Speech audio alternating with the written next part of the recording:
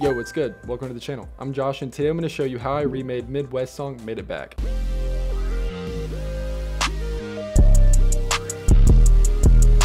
This beat is pretty simple overall, kind of similar to all the yeet, rage type stuff going on right now. Really what separates people in these beats is the sound selection, the melodies, and the pocket of the drums. To start with the melodies, got some basic saw chords going on.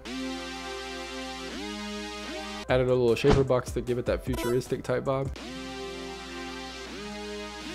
Then we got this little lead sound going on.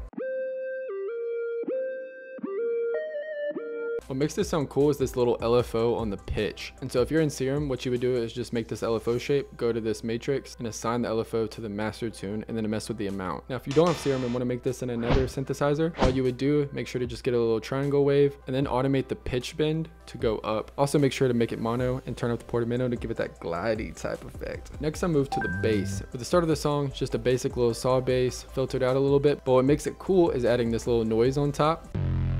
Here's with. Then we got some basic effects going on, little hyper dimension, little distortion, and then some multi-band compression, just to give it that really crispy sound. Then for the main 808, you just want to find a basic Zay or Pierre type 808. Next we got the drums. It's gonna blow your mind when you see these. Revolutionary hi-hat. Super unique clap. Even more unique snare. And this one's actually kind of unique, but only because I pitched it down. One of the things they did for this beat that I thought was kind of cool was a little arrangement trick right before the beat drop. This is what it sounds like on the song. All they did here was just basically take out some of these drum sounds right here, then add some transitional sounds like this reverse crash right before the clap, then filtering out all the melodies right before the drop.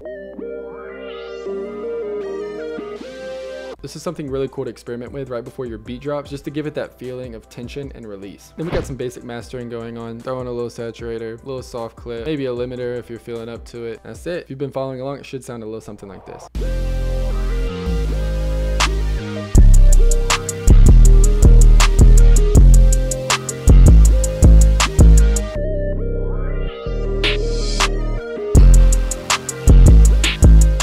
Appreciate you for watching the video. Hope you enjoyed it. If you haven't already, make sure to subscribe to the channel. I post videos in here every week. Would really appreciate it. Regardless of anything though, keep vibing, making dope music, and I'll see you next time. Love you.